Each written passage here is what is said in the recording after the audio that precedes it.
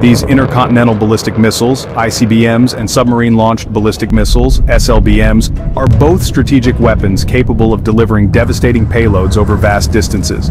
But with the mobility of submarines, some might wonder, why do we even need ICBMs anymore? And what is the advantage of having an ICBM if the SLBM can be deployed from anywhere? Firstly, the United States ICBM has around 450 silos that can launch missiles and SLBMs around 288 Trident II missiles on 14 Ohio-class submarines. Russia alone has ICBMs and SLBMs combined, limited by the New START Treaty, to 540 launchers with deployed missiles, and China is estimated to have around 201 launchers ICBM and SLBM. But these are all estimates based on publicly available information, and it is possible that Russia would have more if there was no nuclear arms control. To find out the reasons why ICBM is needed, we have to discuss the advantages and disadvantages of having SLBM. Submarine-launched ballistic missiles, SLBMs, launched from submarines, allow for a greater chance of survival from a first strike, giving the commander a second strike capability.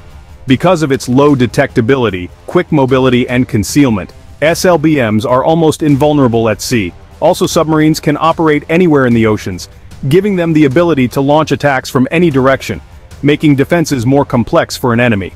An SLBM is the most difficult to get accurate targeting for as it requires a precise geographical fix on a target. As for the disadvantages of using these submarines, an attack on an SLBM could be from the work of uncertainty. They can be destroyed through purposeful fruition or operational accidents. These events would create confusion about whether or not this was a deliberate attack and if we compared to ICBMs, intercontinental ballistic missiles, launching an SLBM takes longer. Submarines may need to maneuver or surface before launch, potentially increasing vulnerability during a tense situation. And the most crucial thing is high maintenance costs.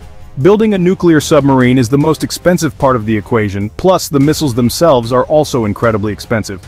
Not to mention the cost of maintaining nuclear submarines is another ongoing expense. As an illustration, figures are estimates, submarines cost $10 billion to $30 billion depending on class and capabilities, and missiles cost $50 million to $500 million depending on complexity and range. It's important to remember that these are ballpark figures. The actual cost can vary depending on specific designs, technologies employed, and economies of scale.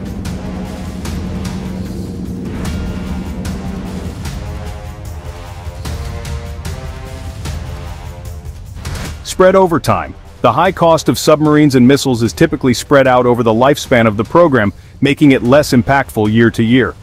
Indirect costs, security measures, training, and infrastructure for supporting these systems also contribute to the overall cost. Strategic importance. While undeniably expensive, SLBMs are viewed by some as a necessary cost for national security and deterrence. So this is why ICBM is important to cover the shortcomings of SLBM. The ICBMs that are land-based and deployed in hardened and dispersed silos, making them difficult to target and destroy in a preemptive strike. They are spread across a large geographical area, reducing the effectiveness of a single attack, and can be fired much quicker than SLBMs. Submarines may need to maneuver or surface before launch, adding valuable time to the launch sequence, which might be crucial in a fast-paced conflict. While both systems are expensive, maintaining a fleet of submarines adds significant operational costs compared to fixed, land-based silos for ICBMs. For you to know the cost per delivery vehicle for US ICBMs is approximately one quarter of what it is for bombers and submarines. The ICBM also has potential for conventional missions because some ICBMs are being adapted to carry conventional warheads for high-precision, non-nuclear strategic strikes.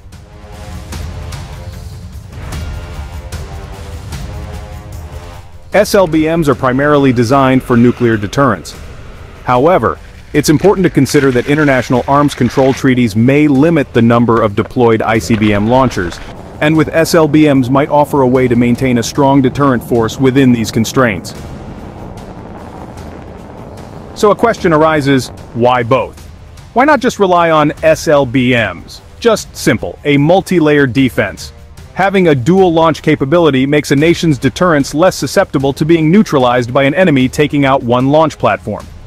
International arms control treaties may limit the number of deployed launchers of a specific type. ICBMs and SLBMs provide options within these constraints, and the visible presence of land-based ICBMs can serve as a potent symbol of a nation's military might. In conclusion, both ICBMs and SLBMs play vital roles in a nation's strategic arsenal.